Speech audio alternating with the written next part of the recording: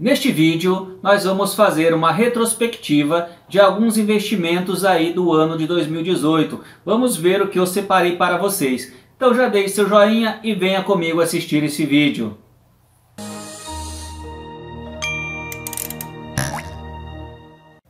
Olá meus amigos, bem-vindos ao canal. Vamos falar aqui de uma retrospectiva de alguns investimentos tanto em ações quanto em fundos imobiliários o que eu separei para vocês aqui em termos de investimentos. Vamos ver algum destaque no setor bancário, setor elétrico e fundos imobiliários.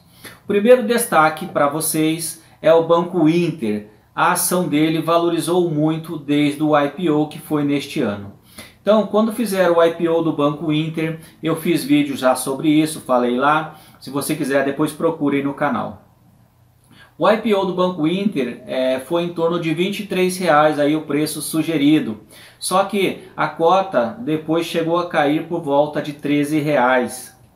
Houve aí valorização, né? o Banco Inter foi se valorizando e a cota hoje está próxima de 38 reais. Então veja que ações deste banco, ela praticamente dobrou, né? Quem investiu um capital, por exemplo, de 10 mil reais, hoje teria um capital aí de 20 mil reais. Veja que valorizou bastante e o Banco Inter aí nesse ano pagou duas vezes então juros sobre capital próprio. Então veja que o Banco Inter é novo na Bolsa de Valores e já está tendo um desempenho bom. Não sei como será no futuro. Estou fazendo aqui uma retrospectiva do que aconteceu nesse ano. Então a ação do Banco Inter foi muito bem aí, ah, no meu ver, no ano de 2018. Segundo banco que eu achei que foi bem também, o Banco Itaú, é, eu sempre falo que investir em banco é um grande negócio, né? ser dono de banco é um grande negócio. O Banco Itaú, então, ele teve bastante lucro no ano de 2018, ele pagou é, duas vezes juros sobre capital próprio e 12 vezes ele pagou dividendos, então no decorrer de um ano ele pagou sempre, constantemente, todos os meses estava caindo então na conta aí é, dos acionistas dividendos. Teve uma vez é, que o banco pagou um valor superior a um real é, como juros sobre capital próprio. Então veja que é um valor bem atrativo comparado ao que ele paga é, de dividendos, que é por volta aí de um centavo. Então é um destaque também para o Banco Inter e Banco Itaú. No setor elétrico, né, tivemos aí grandes é, empresas lucrando no setor elétrico, mas eu separei uma delas para falar. Vamos falar da Engie. A ação da Engie, ela também teve valorização, ela teve desdobramento, ela pagou também duas vezes dividendos para os acionistas. É uma ação que está tendo um desempenho muito bom. Se você olhar lá, o ROI dessa empresa é, é alto. Se você olhar o dividend, o yield também é muito bom. Então, destaque para o setor elétrico, que muita gente está falando, é a Engie. Então, se você quiser depois dar uma pesquisada nos fundamentos, eu também tenho o vídeo desta empresa no canal. Outro destaque aqui, agora que a gente vai falar, é de fundos imobiliários. É, tem uma ação que eu já fiz um vídeo é, que é o Novo Horizonte, que quando eu preparei o vídeo a ação estava custando R$ reais, algo em torno de R$ reais, e essa ação do Novo Horizonte, ela foi colocada na bolsa de valores, no IPO, com um valor de um real. Depois ela subiu para R$ reais. Eu fiz um vídeo e essa ação foi se valorizando. É, a cota então deste fundo imobiliário foi se valorizando. Hoje está mais de 30 reais. Então veja que a valorização de um real do IPO para 30 reais que está sendo negociada hoje Muita gente não entende o porquê de estar subindo tanto, porque os proventos pagos não são tão bons assim comparado ao preço para você entrar nesse fundo imobiliário. Só que neste ano de 2018 essa cota chegou a custar mais de 60 reais. Então veja que teve aí bastante valorização. Quem entrou no preço mínimo e vendeu lá na alta teve lucro. Isso é day trade ou swing trade, né? Que aqui as pessoas podem ganhar dessa forma, só que eu recomendo para quem não tem experiência ainda no mercado, vá devagar, não queira fazer swing trade, não queira fazer day trade, tenha lá um sistema buy hold, que é escolher boas empresas, comprar e permanecer na carteira e viver com os proventos, juros sobre capital próprio, dividendos, nas ações temos bonificações, temos desdobramentos, várias vantagens para quem é buy hold.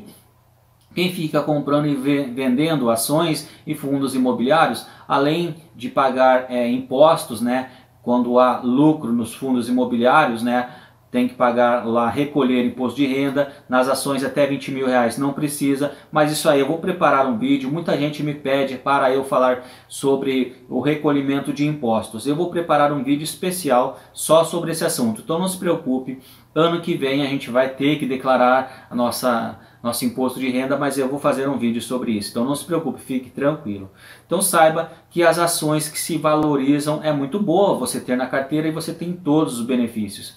Então, no ano de 2018, apesar da crise que o país passou aí por um período, né, tanto crise política, golpes, corrupção, mas a nossa bolsa de valores teve um desempenho, inclusive aí nos últimos dias que foi fechou a bolsa de valores, muitos ativos fecharam em alta, é, atingimos a meta, né, proposta, pelo menos a, a minha meta para esse ano eu atingi, superei até um pouco e isso é muito bom. Agora vamos preparar novas metas para o ano que vem.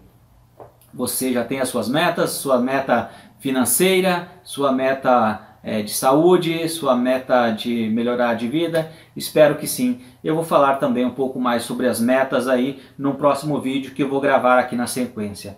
Então esse era o vídeo de hoje, espero que você tenha gostado. Se gostou, deixe seu joinha. Se não é inscrito, aproveite e inscreva-se no canal, basta clicar no botãozinho vermelho aqui embaixo.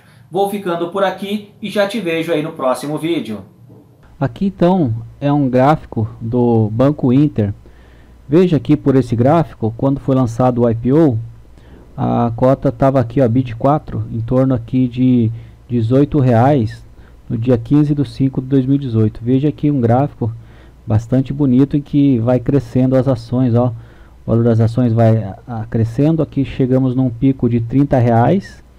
Tivemos uma queda, a gente vendeu aqui, depois foi indo, tivemos um pico maior aqui, ó, de R$ 46,27 depois queda, queda, queda, queda, chegou aqui embaixo, R$ reais. Depois subiu mais um pouco, superou R$ reais e finalizamos aqui em dezembro no valor da cota de R$ 38,60, R$ reais aqui, bem próximo de R$ reais. Então perceba que a ação do Banco Inter, ó, se valorizou bastante. Imagine quem conseguiu comprar aqui a R$ reais, né? E vender aqui a 43 reais. Fez aqui uma operação que lucrou bastante. Mas quem se, se manteve na operação no estilo buy hold comprou aqui foi comprando foi comprando foi comprando não se preocupou muito com as quedas tá aqui finalizou em 40 reais. Conseguiu comprar aqui por volta de 20 reais. Hoje está por volta de 40 reais. Dobrou o patrimônio. Então veja que a pessoa teve bastante lucro com as ações do Banco Inter Aqui também dá para ver os proventos que o Banco Inter pagou, que na verdade foram juros sobre capital próprio, né? Pagou duas vezes, no mês 6 e no mês 9.